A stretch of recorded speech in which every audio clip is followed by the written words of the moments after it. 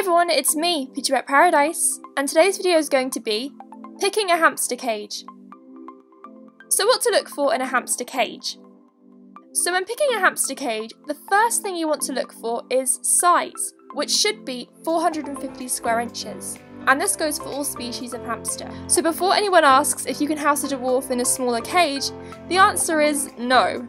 A lot of people think that because a dwarf is smaller, they require a smaller cage, when this could be further from the truth.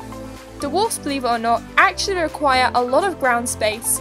The reason why is because they have a lot of energy to burn and they are very fast, so they do need a large cage with a lot of ground space.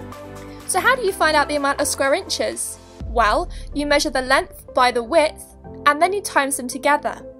And something quite a few of us in Europe tend to miss out is converting centimetres into inches. You have to remember that we are finding out square inches, so it has to be in inches in order for this to work.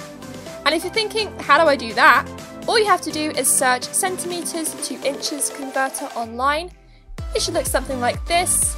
Then you type in your length and the width in centimetres and click convert. That should give you the converted dimensions. You then take those and using the calculator, either online or an actual calculator, you put them in length by width and times them together. And that will give you your total amount of square inches.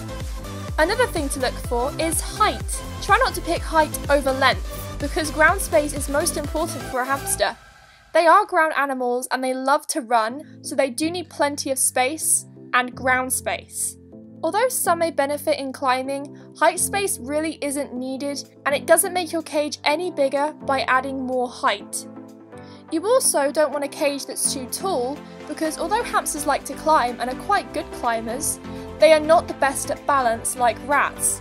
So there is a higher risk of them losing balance and then falling.